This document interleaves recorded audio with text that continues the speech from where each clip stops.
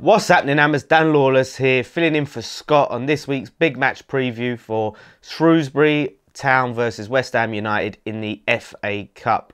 Now, it's sort of ironic calling it the big match preview, considering it seems like David Moyes don't really consider this a big match or an, important match in relation to the Premier League. Um, and it's I'm sort of in two minds, and I think it's sort of a lot of the fan base is kind of undecided on on how serious we should take it. And, and to me, you know, any game that you know we play, we should be looking to win, and we should be trying to win it. And you know, and the FA Cup is is a cup that's you know special to West Ham fans, and you know you got a lot of paying fans going all the way down to Shrewsbury Town who ain't don't want to go there for us to be throwing in the towel before it's even started.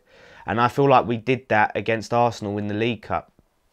You know, I was at that one, and uh, you know we weren't even. It didn't even look like we were trying. So I do hope, you know, I'd like to see a mixture of youth, but you know, I do want us to have that experience in there that that can really, you know, go for it. Um, funnily enough, it's Shrewsbury Town. The last time they faced Premier League competition in this cup was 2003 when they knocked out Everton, and who was the manager? David Moyes.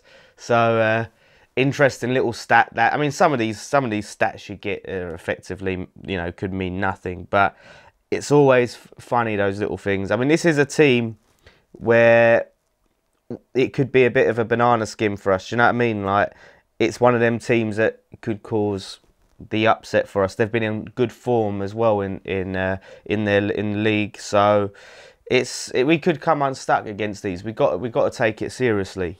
Um, lineup wise, it's very tricky. It's very tricky of what to go for and, and to really know what he's going to go for. We've got a lot of injuries. I mean, this really highlights our lack of uh, squad depth. Um, we got here, Jose Fonte, of course, still out. Sam Byram's injured. Um, Mark Noble apparently picked up something against Spurs, which is, if that's true, that's disastrous. Um, Edimilson Fernandes obviously out. Sakho, whether he's legitimately injured or it's kind of keeping him on off the radar until we sell him or what. I don't know what's happening with him. James Collins, obviously. Then you've got Antonio still not fit. There's rumours about Oxford as well. Um, Cresswell done his back in. And Arnautovic, um, I think, picked something up. Um, so, yeah, we've got a very, very thin squad anyway. So we've got no choice but to play youth. Um, you know, we do need, it does highlight the need to get out in this transfer window and make some signings because we are thin and it does, you know, highlight the fact that we do need a right back. You know, Zaba, I'm happy with Zabaleta, but it's, it's just too much to expect him to play this many games in such short amount of time, you know, at his age. Uh, and Sam Byram just seems to be injured an awful lot. I thought he was just on the way back and it seems like he's still injured or what. So, we can't we can't go around and, rely on a player that's always injured. So I think it's time to definitely sign a right back, even you know a, a talented young prospect of a right back. Well, that's what Sam Byram was. Um, I did hear something about Carroll um, had a little a little injury. Obviously, he came on against Spurs later on in the game, but there was. I think talk about him having play like holding a little knock or whatever. I, I don't know. Well, he always is, isn't he? Um, so obviously Joe Hart is going to go in goal for the cup. See how he does it. It's, it's tough because he came he came in to West Ham for game time, and then you know he had that situation where he couldn't play against Man City, and after that you know we had a good Adrian had a good performance against City, and then he ain't been able to get back in the team. So it's tough. You think, you know, if we didn't have City at that time, he probably would still be in goal if we didn't play, if we hadn't played City yet.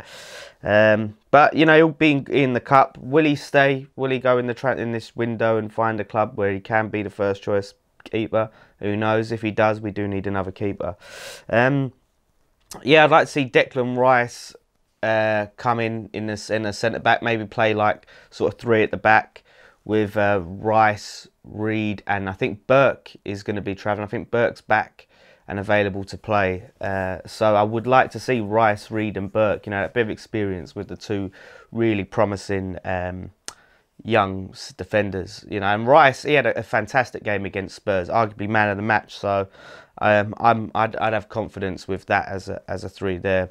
Zabaleta uh, as sort of the right wing back role. We've got no choice but to play him. So he'd go in there. Um, then I really want to see Haksabanovic um, come in.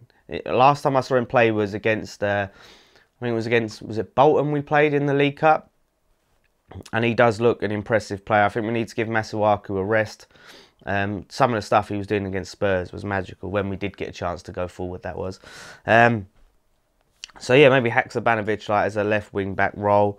And then um, in the midfield, it's a tough one. It is a tough one. I think we have, we'll have to play a combination of well, no Mark Noble. So I want to see Quina, Domingos Quina, come in. So maybe Domingos Quina and Obiang. Ooh. Well, you'd have to play, oh, yeah, Obiang and Kia. If playing three at the back, you'd have to play them three maybe. So Obiang, Kouyate and Quina.